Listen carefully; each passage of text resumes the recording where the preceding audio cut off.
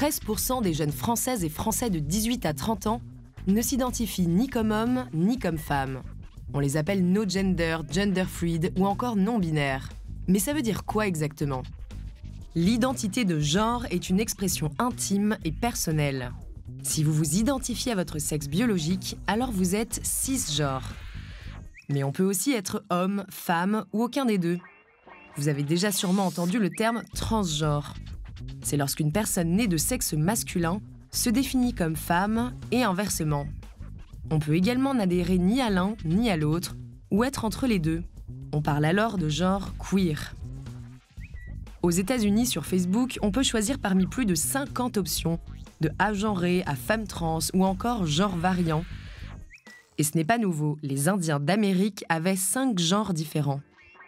Pour autant, ils ne modifiaient pas de façon physique leur sexe de naissance. Eh bien, aujourd'hui, c'est pareil. Un transgenre ne subit pas forcément d'opération chirurgicale. Ce qui est, à l'inverse, le cas d'une personne transsexuelle. Plus que jamais, la phrase de Simone de Beauvoir On ne naît pas femme, on le devient prend tout son sens.